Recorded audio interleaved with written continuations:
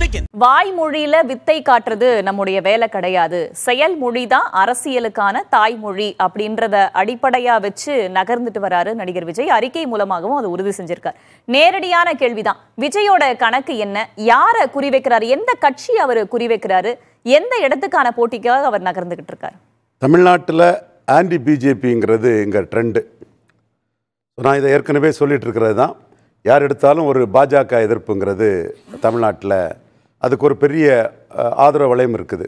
ஒருத்தருக்கு ஒரு ஓட்டு தான் உண்டு. ஆனால் பாஜக எழுத்து வரக்கூடிய நாலு பேரையும் அவர் தூக்கி விடுவார் ஆதரிப்பார் என்கரேஜ் பண்ணுவார். அது ஓகே அது அந்த வார்த்தைகளெல்லாம் சொல்ல விரும்பல.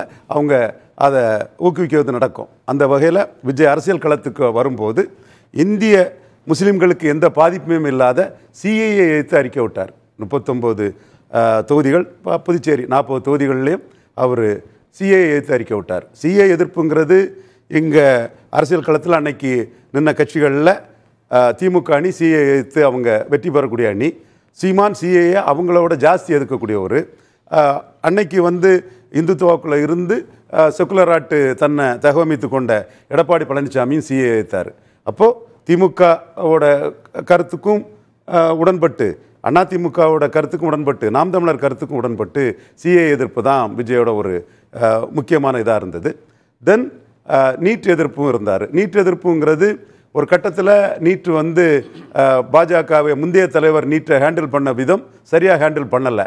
அண்ணாமலை நீட்டை சரியாக ஹேண்ட் பண் ஹேண்டில் பண்ணார். நீட்டு நல்லது தான் மெரிட்டான டாக்டர் வருவாங்கன்னு. ஓகே அது சரி தவறுங்கிறதுல அப்பாற்பட்ட விஷயம். அம்- அப்பாற்பட்ட விஷயம். அண்ணன் நயனா போன்றவர்களாம் மாறுபட்ட கருத்துக்கள் உண்டு கலைக்கும் இருக்கும்.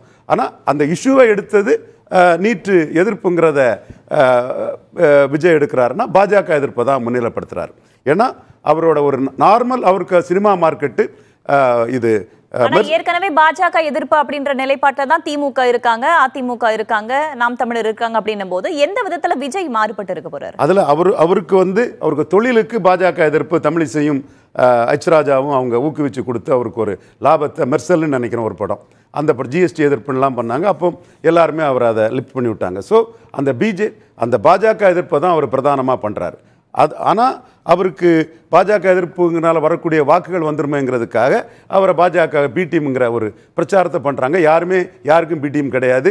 எல்லாரும் அரசியல் களத்தில் தங்களுக்கு என்ன கிடைக்குது தாங்க எந்த அளவுக்கு முன்னேற முடியுங்கிறதான் பார்த்து வருவாங்க. இல்ல பாஜக எதிர்ப்புன்றீங்க. கள்ளக்குறிச்சி கள்ளச்சாராய மரணம் தொடர்பாக இது அரசு நிர்வாகத்தோட அலட்சியம் தான் அப்படின்ற மாதிரியான வெளிப்படையான அறிக்கையும் அவர் வெளியிட்டு தான் இருக்காரு. கள்ளக்குறிச்சி மரணத்தை இது பண்ணாரே தவிர விக்ரவாண்டி தேர்தலில் அவர் எந்த முடிவும் எடுக்கலை. விக்ரவாண்டி தேர்தலுக்கான முடிவாட்டு அதை சொன்னாருன்னா அவர் வந்து அந்த இடத்துக்குள்ளே அவருக்கு இம்பாக்ட் இல்லைன்னு அர்த்தம்.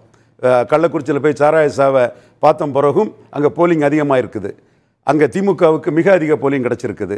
நோட்டாவுக்கு ஓட்டு கூடலாம் குறைஞ்சிருக்குது. ஸோ கள்ளக்குறிச்சி சாராய இதில் அவரோட கருத்துக்கு இம்பாக்ட் இல்லைன்னு அர்த்தம் தான் அதை காட்டுது. ஆனால் அவரது இம்பாக்ட் வரக்கூடிய அளவுக்கு ஒரு சிஏ எதிர்ப்பு ஒரு நீட் எதிர்ப்புங்கிற மாதிரி பாஜக எதிர்ப்புங்கிற மாதிரி அந்த இடத்துல திமுக எதிர்ப்பை அந்த அளவுக்கு பலமாக செய்ததாட்டு நான் கருதலை. அது பொத்தாம் பொதுவாக கலாச்சா கள்ளச்சாராய சாவு எல்லா காலகட்டத்திலையுமே இருந்துகிட்டு இருக்குது.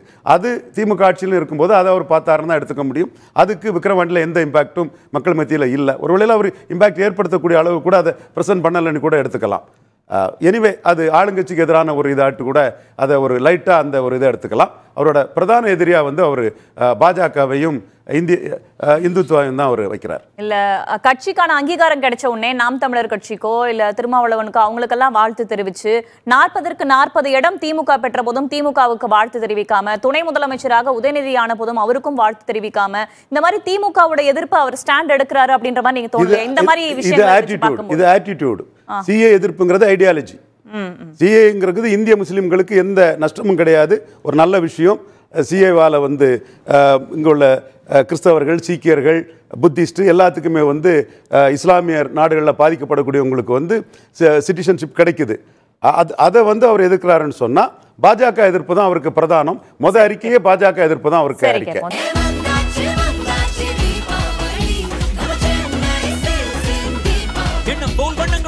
கொண்டாட த சென்னை சில்க்ஸ் ஆடைகளுடன் லெட்டஸ்ட் செலிப்ரேஷன்ஸ் பிகின்